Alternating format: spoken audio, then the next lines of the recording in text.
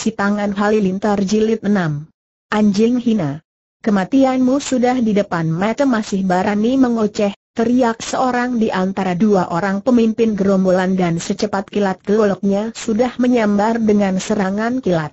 Anak buahnya yang melihat pemimpin mereka sudah muia itu lontangan, segera bergerak dan berteriak-teriak, bunuh merekal bunuh anjing-anjing penjilat Kaisar dan mereka pun lalu menyerbu dan menyerang pasukan Garuda Sakti. Heng San dan dua orang rekannya, juga selusin prajurit Garuda Sakti sudah berlompatan turun dari atas punggung kuda dan mereka pun menyambut serbuan para gerombolan itu dengan gagah. Heng San bermaksud untuk menangkap atau membunuh dua orang pimpinan gerombolan itu lalu membujuk anak buah mereka agar menakluk dan menyadarkan mereka. Akan tetapi dua orang rekannya Ban Hok dan Owi Yang Sin, mengamuk dengan hebat, merobohkan banyak anak buah gerombolan. Juga selosin prajurit Garuda Sakti mengamuk dan biarpun jumlah musuh lebih banyak, namun para prajurit pilihan ini jauh lebih tangguh dan sebentar saja banyak anggota gerombolan berjatuhan terbabat senjata tajam. Melihat ini, Heng San mempercepat gerakannya.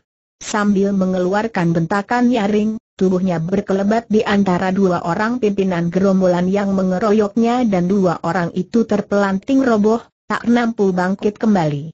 Setelah merobohkan dua orang pimpinan gerombolan perampok itu, Heng San lalu berseru kepada para anak buahnya, Saudara-saudara, tahan dan berhenti menyerang akan tetapi mana dia mampu menahan amukan para prajurit yang sudah keranjingan itu. Mayat para anggota gerombolan berjatuhan, banjir darah di tempat itu dan akhirnya, lebih dari separuh jumlah gerombolan itu roboh tewas dan selebihnya lalu melarikan diri cerai-berai ke dalam hutan lebat. Ketika para prajurit Garuda Sakti hendak melakukan pengejaran, Heng San berteriak lantang, mengerahkan tenaga saktinya, berhenti, jangan dikejar semua orang berhenti dan Heng San berkata kepada dua orang rekannya, didengar pula oleh selosin prajurit yang tidak ada yang cedera parah itu. Kita tidak mengenal hutan lebat ini, jangan kejar, kita dapat saja terjebak. Dua orang pimpinan mereka telah tewas dan sebagian besar mereka pun sudah terbasmi, tentu sisanya tidak akan berani lagi membuat kekacauan. Kita kembali ke Kengkoan Kepala Daerah Kota Bun Koan yang sudah mendengar akan hasil baik pasukan Garuda Sakti menumpas gerombolan, menyambut dengan penuh penghormatan. Segera kepala daerah itu mengadakan pesta pora menyambut kemenangan pasukan itu di rumah yang disediakan untuk tempat bermalam mereka. Akan tetapi, sejak keluar dari hutan, wajah Heng San tidak gembira seperti kedua orang rekan dan anak buah pasukan. Wajah pemuda itu muram. Diam-diam dia merasa menyesal, bersedih dan menyayangkan bahwa dalam pertempuran itu pasukannya melakukan pembunuhan terhadap 20 orang lebih anak buah gerombolan. Memang benar, ada kebanggaan dalam hatinya bahwa dia telah melaksanakan tugas pertama itu dengan hasil baik. Gerombolan perampok yang suka mengganggu kehidupan rakyat telah dapat dibasminya, berarti dia sudah berjasa terhadap negara dan bangsa, telah menentang kejahatan dan melindungi yang lemah tertindas, yang diganggu keamanan hidupnya, sesuai dengan watak pendekar seperti yang diceritakan gurunya. Akan tetapi dia merasa sedih memikirkan bahwa orang-orang yang dibunuh itu bukan lain adalah bangsanya sendiri. Kini dia melihat penyambutan kepala daerah kota Bun Koan yang demikian hangat dan hormatnya, Diam-diam dia merasa amat muak karena mengingat betapa pembesar itu berusaha menyuapnya dengan emas. Ingin dia mendamprat dan mencaci, akan tetapi Ban Hok dan Ouyang Sin, dua orang rekannya, mencegah dan menyabarkan hatinya. Dia hanya menyembunyikan diri dalam kamar, tidak mau ikut berpesta, membiarkan anak buah pasukan Garuda Sakti bersenang-senang menikmati pesta perayaan kemenangan yang diadakan untuk mereka. Di dalam kamarnya, Heng San selalu membayangkan para perampok yang telah terbunuh. Terutama sekali dia tidak dapat melupakan dua orang pimpinan gerombolan yang dengan gagah dan gigihnya melakukan perlawanan. Pada keesokan harinya Heng San mengajak pasukannya pagi-pagi meninggalkan kota itu untuk kembali ke Kengkoan.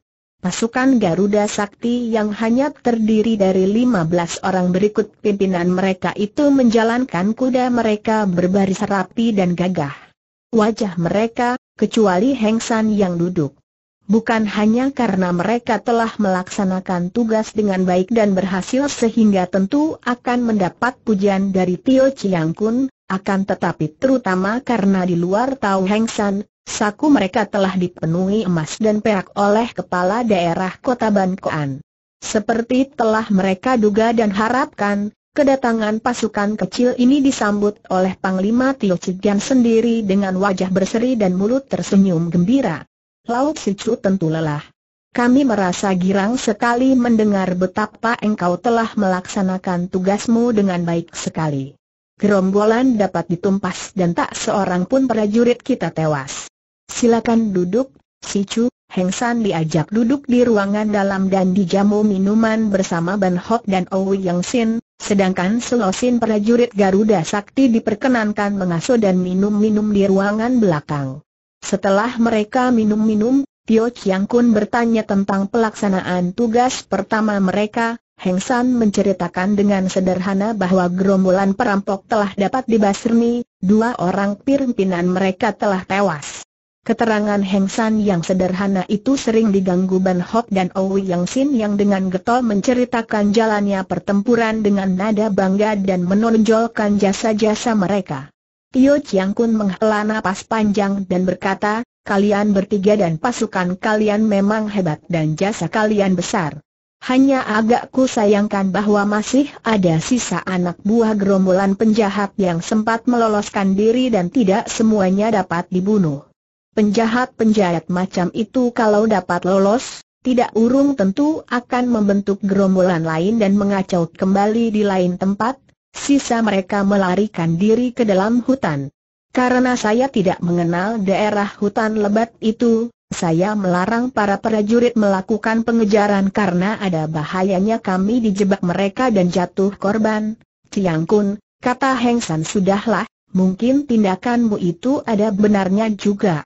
Biarlah sedikit anak buah gerombolan itu meloloskan diri, hal itu tidak berapa penting. Sekarang ada persoalan yang jauh lebih penting dan berbahaya daripada itu. Louis Sichu sudah kusuruh melakukan penyelidikan teliti akan hal itu. Kami memang sengaja menanti kalian kembali baru akan bertindak, karena sekali ini kita menghadapi lawan-lawan berat, Tio Chiang pun bicara dengan sikap sungguh-sungguh sehingga Heng San menjadi tertarik sekali. Mendengar ucapan ini, Ban Hok si jagoan tinggi besar yang wataknya memang congkak segera berkata, ada persoalan penting apakah, Tio Chiang Kun? Harap Chiang Kun jangan khawatir, sekarang pasukan istimewa Garuda Sakti telah kembali dan segala macam rintangan pasti akan dapat kami hancurkan. Tio Chiang Kun mengangguk-angguk senang mendengar ucapan yang terdengar gagah ini, akan tetapi diam-diam Heng San mencela kesombongan rekannya, namun dia diam saja. Tio Chiang Kun yang cerdik dapat melihat kerutak suka pada kening Heng San, maka dia pun segera bertanya, Lau Sicu, bagaimana pendapatmu dengan ucapan Ban Sicu tadi Hang San tersenyum dan menjawab tenang. Bantu aku terlalu takabur. Sebelum melihat kekuatan lawan, bagaimana kita dapat memandang rendah? Akan tetapi sebenarnya apakah yang terjadi dan apakah persoalan yang amat penting dan berbahaya itu, Chiang Kun? Tentu saja sudah menjadi kewajiban kami untuk menanggulanginya, mari kalian bertiga ikut aku ke dalam. Pasukan Garuda Sakti diperbolehkan pulang ke rumah masing-masing untuk mengasuh, kata Panglima Tio Cigan. 12 orang prajurit pilihan yang menjadi anggota pasukan Garuda Sakti itu memang tinggal di luar gedung Seng Panglima, mempunyai rumah masing-masing. Akan tetapi empat orang jagoan itu mendapatkan kamar di dalam gedung Seng Panglima. Setelah Tio Chiang Kun, Ban Hok, Ouyang Sin, dan Heng San duduk di ruangan rahasia yang biasa mereka pergunakan untuk rapat, muncullah si harimau muka kuning Lui Tiong. Terlebih dulu Lui Tiong memberi salam dan memberi selamat kepada tiga orang rekannya yang telah berhasil menunaikan tugas dengan baik. Tio Chiang Kun mempersilakan Lui Tiong duduk dan Lui Tiong segera memberi laporan dengan wajah serius.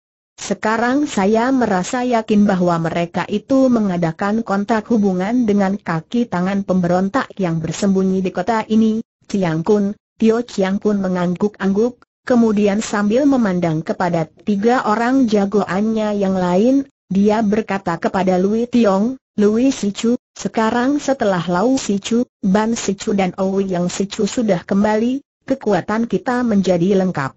Maka, sebelum kita merundingkan dan merencanakan tindak lanjut, lebih baik engkau menceritakan dulu semua persoalan itu kepada mereka bertiga. Louis Tiong lalu bercerita dan Heng San mendengarkan hal-hal yang baru dan asing baginya, akan tetapi yang membuat dia bertekad untuk membantu perjuangan Tio Chiang Kun yang dalam pandangannya adalah seorang pejabat militer yang bijaksana, baik hati dan gagah perkasa. Menurut cerita Louis Tiong, pada bulan terakhir ini banyak sekali terdapat gerakan-gerakan para perusuh atau pemberontak yang memberontak dan merebut kekuasaan alat-alat pemerintah dengan tujuan merampok dan menguasai kota demi kepentingan para gerombolan penjahat itu sendiri. Banyak sudah gerombolan pemberontak yang terdiri dari orang-orang Kang Ou, rimba persilatan, dan Buin, sungai telaga, yang dapat ditumpas dan dibubarkan oleh pasukan pemerintah. Akan tetapi masih saja mereka bermunculan dengan sembunyi-sembunyi. Karena gawatnya keadaan di daerah Kengkoan ini, maka Sri Baginda Kaisar sendiri mengutus dan memberi tugas kepada kami untuk memimpin pasukan di Kengkoan dan membasmi para pemberontak itu sampai habis kata Tio Chiang Kun penuh semangat. Beberapa hari yang lalu, Louis Tiong melanjutkan penuturannya yang dipotong oleh ucapan Tio Chiang Kun tadi, di kota ini muncul serombongan penari silat yang membuka pertunjukan. Mereka terdiri dari seorang laki-laki setengah tua, dua orang pemuda yang menjadi muridnya, dan seorang gadis muda dan cantik, yang diperkenalkan sebagai putrinya. Mereka itu sungguh menarik perhatian dan mencurigakan sekali dan Tio Chiang Kun sudah memerintahkan agar aku melakukan penyelidikan dengan teliti terhadap mereka. Aha, Louis Toako, apa sih anehnya serombongan penari silat yang hanya terdiri dari empat orang? Banyak rombongan penari silat yang menjual obat luka dan koyo, obat tempel. Mereka adalah orang-orang yang tidak perlu dikhawatirkan, kata O Yang Sin dengan suara memandang rendah. Jangan beranggapan begitu, O Yang T, adik O Yang. Mereka itu jauh berbeda dari rombongan penari silat biasa yang suka mengadakan pertunjukan di pasar-pasar. Aku sudah menyaksikan sendiri ketika mereka mempertunjukkan kemahiran mereka bersilat. Bukan sekedar tarian silat, melainkan gerakan silat yang sungguh tangguh, terutama sekali gerakan Seng pemimpin rombongan dan gadisnya yang cantik, hem, sampai di manakah kehebatan mereka Ben Hok juga berkata meremehkan. Aku telah menyelidiki mereka pada malam hari dengan mendatangi tempat mereka bermalam. Biarpun aku sudah mempergunakan kepandaianku, mengerahkan Gin Kang, ilmu meringankan tubuh, namun agaknya mereka dapat mendengar langkah kakiku dan hampir saja aku menjadi korban sambaran piau, senjata rahasia, yang menyambar cepat. Untung aku memang sudah curiga dan berhati-hati sehingga aku dapat menghindarkan diri dan pergi sebelum ketahuan mereka, Heng San merasa tertarik sekali. Di manakah tempat mereka bermalam di dalam kelenteng Lok Mentong di luar kota sebelah selatan itu? Bagaimana engkau tahu bahwa rombongan penari itu mempunyai hubungan dengan macam-macam pemberontak yang bersembunyi di kota ini seperti yang kau ceritakan tadi? Louis Toako Heng San bertanya. Ada buktinya yang amat kuat, Louis Tiong bercerita. Dan ini menjadi laporan saya pula kepada Tio Chiang Kun. Begini, Chiang Kun, Kemarin saya menyusup di antara penonton untuk melihat dan menyelidiki rombongan penari silat itu dengan seksama. Mereka memang menawarkan obat-obat kuat, koyo dan obat luka lainnya seperti kebiasaan penari silat lainnya yang menjual obat, walaupun kesibukan ini mereka lakukan sambil lalu saja dan tanpa semangat. Kemudian gadis putri kepala rombongan itu menari silat pedang. Akan tetapi, saya melihat kenyataan yang luar biasa.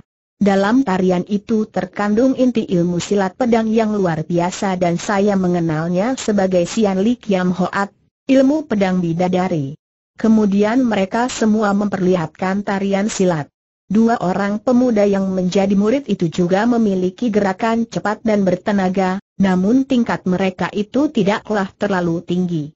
Kepala rombongan itulah yang amat lihai dan sambaran pukulan dari tangannya jelas mengandung tenaga sakti yang kuat.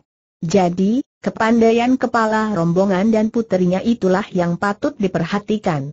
Kemudian, tiba-tiba terdengar pujian orang dan tampak seorang pengemis tua berlompatan ke dalam lingkaran.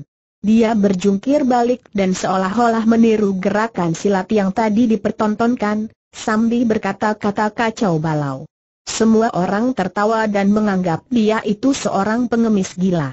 Ucapannya hampir tidak ada artinya, akan tetapi saya memperhatikan semua ucapannya dan ada beberapa kata-kata terselip dalam ucapan kacau balau itu.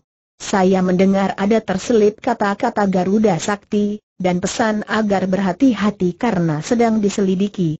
Kemudian, tiba-tiba dia melompat keluar sambil berjungkir balik dan pergi diikuti sorak dan tawa penonton. Saya cepat menyelinap keluar dan mencoba untuk mengikutinya.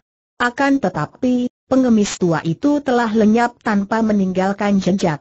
Nah, karena itulah, Tio Chiang Kun, saya merasa yakin bahwa rombongan penari silat itu memiliki hubungan dengan pihak pemberontak dan mungkin pengemis tua itu adalah seorang mata-mata pemberontak yang lihai sekali, Louis Tiong mengakhiri laporannya. Heng San dan yang lain-lain mendengarkan dengan hati tertarik sekali. Tio Chiang pun mengerutkan alisnya dan bertanya, apakah Heng kau mendapatkan bukti lain yang lebih meyakinkan, Louis Sichu? Ada bukti yang jelas, Chiang Kun. Semalam saya berhasil melakukan pengintaian tanpa mereka ketahui. Saya tidak berani mengambil jalan dari atas genteng.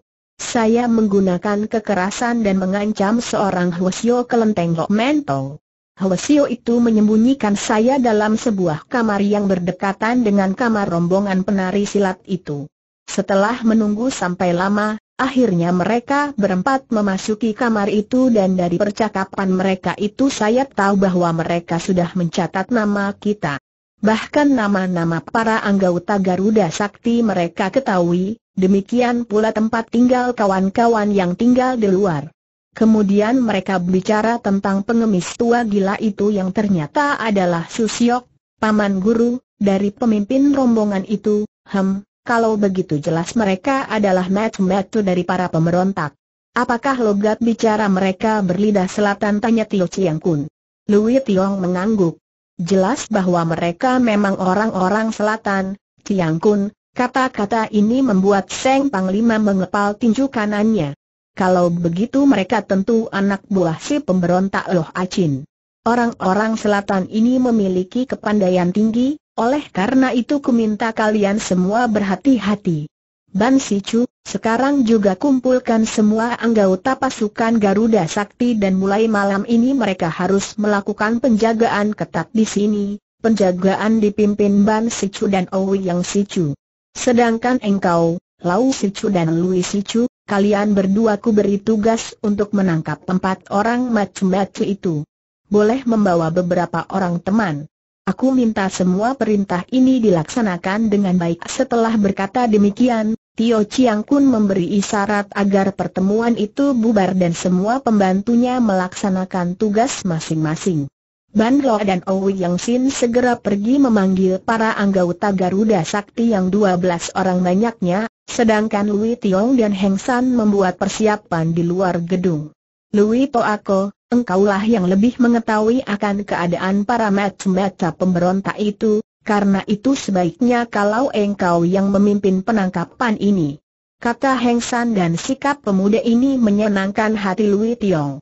Sudah jelas bahwa kini kedudukan jagoan nomor satu jatuh kepada Heng San, akan tetapi pemuda itu tidak menonjolkan kedudukannya itu sehingga Lui Tiong yang tergeser kedudukannya tidak merasa sakit hati karena sikap Heng San yang tetap menghormatinya dan tidak menganggap dia sebagai bawahan yang lebih rendah tingkatnya. Baiklah, Lau Te. Rombongan penari silat itu hanya berempat, dan yang perlu kita hadapi berdua hanya Seng Ayah dan puterinya itu. Untuk menangkap dua orang muridnya, Kukira cukup kalau kita dibantu Kam Seng dan Kameng berdua saja. Kepandaian mereka cukup tinggi, terserah kepadamu, Lui To aku. Akan tetapi sebenarnya siapakah mereka itu? Mengapa begitu ditakuti, menimbulkan kekhawatiran Tio Chiang Kun tanya Heng San yang dapat ku ketahui hanya bahwa pemimpin rombongan penari silat itu adalah seorang bekas guru silat di daerah selatan yang terkenal dengan julukan Lam Leong, Naga Selatan. Menurut penyelidikan orang-orangku, dia mengaku Sin, akan tetapi sebenarnya dia adalah seorang si, Marga, Magadis itu adalah puterinya dan kedua orang pemuda itu murid-muridnya. Melihat gerakan mereka ketika mendemonstrasikan tarian silat, agaknya yang merupakan lawan berat hanyalah si ayah dan puterinya itu. Kedua orang muridnya boleh kita serahkan kepada kedua kakak beradik Kam. Nah, marilah kita berangkat, kata Lui Tiong setelah Kam Seng dan Kameng, dua orang jagoan pembantu Tio Chiang Kun yang berusia 30 dan 33 tahun.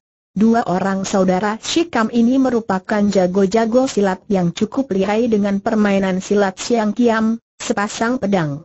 Malam mulai menyelimuti bumi ketika empat orang jagoan.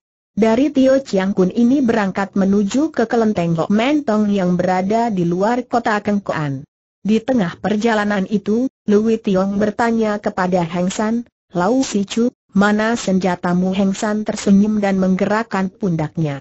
Aku tidak mempunyai senjata, Lui To aku, ah, kalau begitu, pakailah pedangku ini. Aku akan mencari senjata lain, terima kasih, Lui To aku.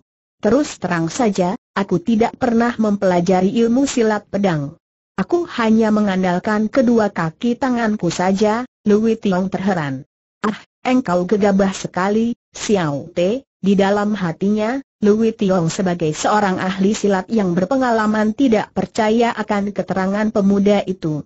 Mana ada seorang ahli silat yang kepandaiannya sudah setinggi tingkat Heng San, mengaku sama sekali tidak pandai memainkan senjata? Tentu pemuda ini mempunyai ketinggian hati dan ingin mempertahankan julukannya sebagai kepalan sakti tanpa tanding.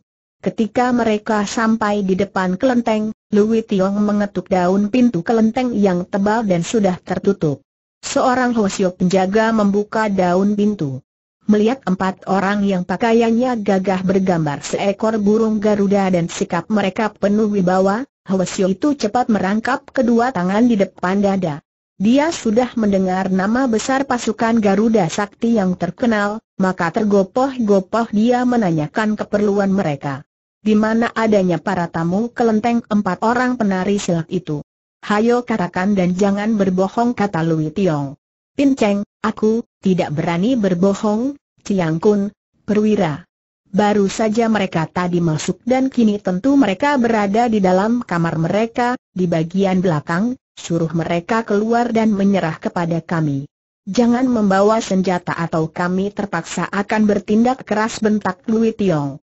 Omi Tohut, Baik, Ciang Kun, Hwasyo itu berlari masuk dengan sikap ketakutan. Lau Te, engkau dan Kam Seng jagalah di atas menghadang kalau mereka melarikan diri. Aku dan Kam yang menunggu mereka di sini, kata Lui Tiong kepada Heng San. Heng San mengangguk, lalu memberi isyarat kepada Kam Seng. Mereka berdua melompat ke atas genteng dengan gerak antangkas sekali. Untuk beberapa saat lamanya, Lui Tiong dan Kameng yang berjaga di luar tidak melihat Hosio tadi keluar lagi. Lui Tiong sudah menjadi tidak sabar dan hendak menyerbu masuk. Akan tetapi pada saat itu terdengar bentakan nyaring dari dalam kelenteng. Hai! Para anggota Garuda Sakti! Anjing-anjing pengkhianat dan penjilat kaisar! Kalau memang berkepandaian, tunggulah kami di luar jahanam gerombolan penjahat dan pemberontak tak tahu malu. Keluarlah kalian Lui Tiong balas memaki dengan marah dan tangan kanannya sudah mencabut pedangnya. Kameng yang berdiri di sampingnya juga sudah menggunakan kedua tangan mencabut sepasang pedangnya yang tipis dan tajam. Tiba-tiba dari dalam kelenteng tampak sinar menyambar ke arah Lui Tiong, disusuli berkelebatnya sesosok bayangan yang berseru, bangsat, Makan Piao Kui Tiong menggunakan pedangnya menangkis senjata rahasia Piao yang runcing itu. Terangguk tanda seru senjata rahasia Piao yang disambitkan itu terpental. Akan tetapi bayangan yang ternyata seorang laki-laki berusia sekitar 50 tahun itu sudah menggunakan sebatang pedang untuk menyerang Lui Tiong. Serangannya cepat dan kuat sekali, langsung menusuk ke arah dada Lui Tiong yang tahu bahwa pimpinan rombongan penari silat itu lihai sekali, cepat mengelak ke samping lalu mengelebatkan pedangnya membacok ke arah perut lawan. Namun, lawannya juga dapat bergerak dengan gesit sekali. Dengan lompatan ke samping, serangan dari Tiong itu pun dapat ditangkisnya dari samping. Teranggak dua pedang bertemu dan keduanya terkejut mendapat kenyataan betapa kuatnya tenaga masing-masing. Segera perkelahian dilanjutkan dengan seru, di bawah sinar lampu yang tergantung di depan pintu kelenteng. Sementara itu, Kameng juga sudah bertanding dengan seorang pemuda yang menjadi murid kepala rombongan penari silat itu. Ternyata tingkat kepandaian mereka pun seimbang. Kameng memainkan siang kiam di kedua tangannya dan pemuda itu pun memainkan sebatang pedang yang bergerak cepat. Terdengar bunyi berdentingan berulang kali disusul berpijarnya bunga api ketika pedang-pedang itu saling bertemu di udara. Perhitungan Lui Tiong memang tepat. Rombongan penari silat yang terdiri dari empat orang itu juga membagi rombongan menjadi dua. Ketika Heng San dan Kam Seng menjaga di atas genteng, hanya diterangi sinar bulan yang remang-remang, tiba-tiba tampak dua bayangan berkelebat di atas genteng. Begitu dua bayangan itu muncul, Heng San dan Kam Seng segera melompat dan menghadangnya. Tiba-tiba dua sosok bayangan itu menggerakkan tangan dan tampak benda hitam meluncur, menyambar ke arah Heng San dan Kam Seng. Awas senjata rahasia teriak Heng San dan dia sudah menggunakan kedua tangan untuk menyambut. Dia berhasil menangkap empat buah peluru besi yang disambitkan dan Kam Seng juga berhasil menyampok dua butir peluru besi yang jatuh berkerontangan di atas genteng. Heng San membuang empat butir peluru itu dan kini dia bersama Kam Seng sudah melompat ke depan dua orang yang hendak melarikan diri itu. Setelah berhadapan dengan dua orang itu, Heng San melihat bahwa mereka adalah seorang gadis dan seorang pemuda.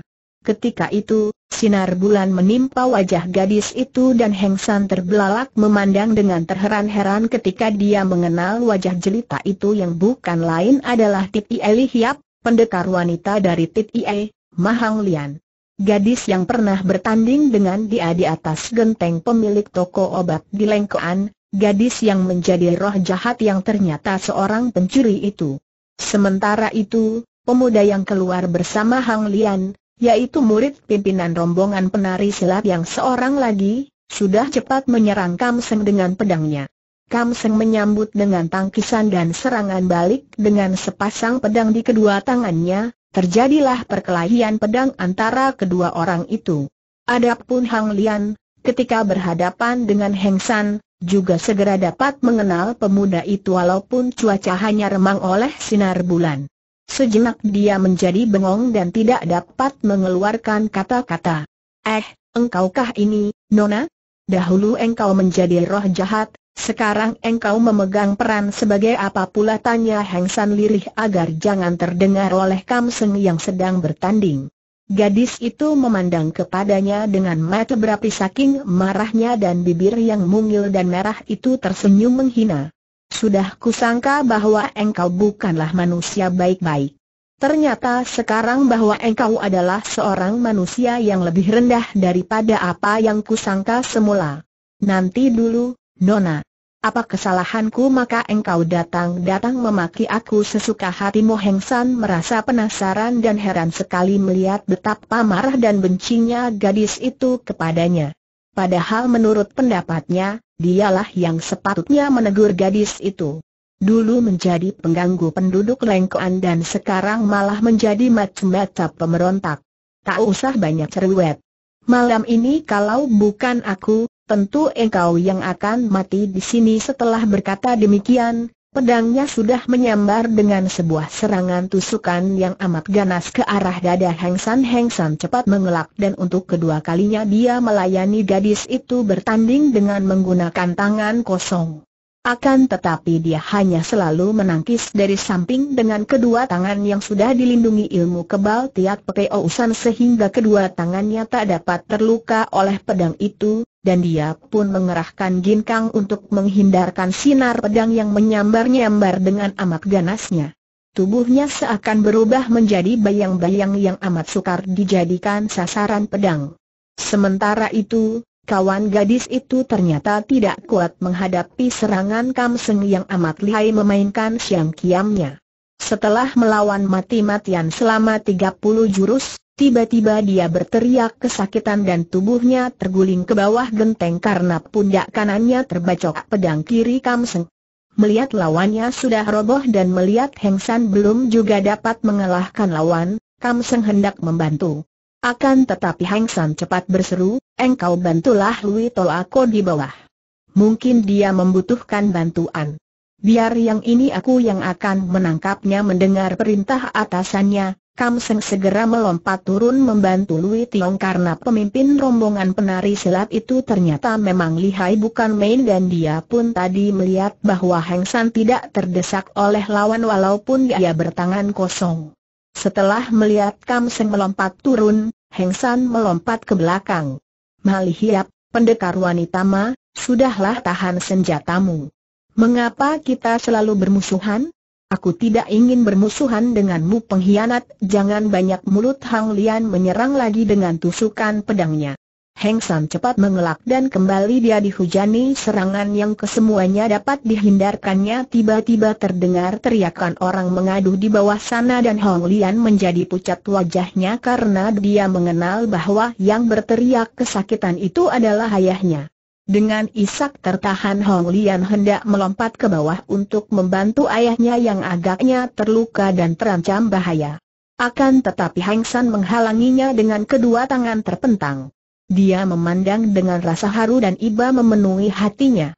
Entah mengapa, semenjak pertemuan pertama dengan Hang Lian ketika saling memperebutkan kantung uang curian itu, dia merasa tertarik dan suka sekali kepada gadis itu. Dia tidak tahu perasaan apakah yang menarik hatinya terhadap Hang Lian. Entah perasaan apa namun yang jelas, dia tidak ingin melihat gadis itu celaka. Nona Ma, jangan turun. Kawan-kawanku di bawah lihai sekali engkau tentu akan celaka kalau turun cegahnya. Dalam kemarahan dan kebingungan, Hang Lian tertegun mendengar ucapan itu. Ia sungguh tidak mengerti akan sikap pemuda ini. Sejak perkelahian mereka yang pertama dulu, ia tahu benar bahwa pemuda itu memiliki ilmu silat yang jauh lebih tinggi daripadanya, bahkan agaknya tidak kalah hebat dibandingkan tingkat ayahnya sendiri. Akan tetapi mengapa pemuda yang ternyata merupakan pemimpin pasukan Garuda Sakti ini tidak mau merobohkan dan menangkapnya dan sejak tadi hanya mengelak dan menangkis saja dan banyak mengalah, bahkan agaknya tidak ingin melihat dia celaka? Siapakah pemuda ini yang menjadi lawan namun bersikap melindungi sebagai kawan? Apa maksudnya? Pada saat itu terdengar bentakan Lui Tiong dari bawah. Masih ada seorang musuh lagi di atas. Hayo kita tangkap mendengar ini, Heng San cepat berkata lirih kepada Hang Lian, cepat serang aku dengan senjata rahasiamu sambil berseru demikian, tangan Heng San bergerak cepat dan tahu-tahu pedang di tangan Hang Lian sudah dapat dirampasnya. Hang Lian terkejut sekali dan mendengar ucapan tadi, ia cepat mengambil beberapa buah senjata rahasia piau dan sambil melompat pergi kedua tangannya bergerak dan empat buah piau menyambar ke arah tubuh hengsan pemuda itu menyampok tiga buah dengan kedua tangannya, akan tetapi piau yang keempat sengaja dia sambut dengan pundak kirinya. Aduh tanda seru hengsan berteriak kesakitan ketika piau itu menancap di pundaknya. Heng San sengaja menekan piau itu sehingga menancap lebih dalam dan ketika dia mencabutnya, baju di pundak berikut kulit dagingnya terobek dan mengeluarkan banyak darah. Pada saat itu, Louis Tiong dan kedua orang saudara si Kam berlompatan ke atas genteng dan mereka terkejut melihat Heng San terhuyung. Heng San terhuyung ke arah Louis Tiong yang hendak mengejar Hang Lian yang melarikan diri. Louis Tiong menangkap tubuh Heng San agar tidak jatuh dan tidak melanjutkan niatnya mengejar Hang Lian. Awas, Toako, senjata rahasianya lihai sekali tanda seru kata Heng San coba ku periksa lukamu, Lau Te, kata Lui Tiong sambil membuka baju bagian pundak yang terobek. Akan tetapi dia hanya dapat melihat sebentar karena Heng San sudah menutupi lukanya itu dengan tangannya. Tidak berapa parah, To aku. Bagaimana hasilnya di bawah, Lui To aku tanyanya. Orang Sima itu telah terluka dan tertawan, sedangkan kedua muridnya tewas. Kali ini kita berhasil baik, hanya sayang gadis pemberontak liar itu dapat melarikan diri dan melukaimu. Ah, aku kurang hati-hati dan terlalu memandang rendah, Lui To aku. Pedangnya dapat kurampas, akan tetapi aku tidak mengira ia demikian lihai sehingga dapat menyerangku dengan empat buah piau. Yang tiga dapat kutangkis, akan tetapi yang satu melukai pundaku, mereka kembali ke gedung Panglima Tia membawa Magiok sebagai tawanan. Tio Chiang Kun menyambut mereka dengan gembira sekali. Setelah mengeluarkan pujian,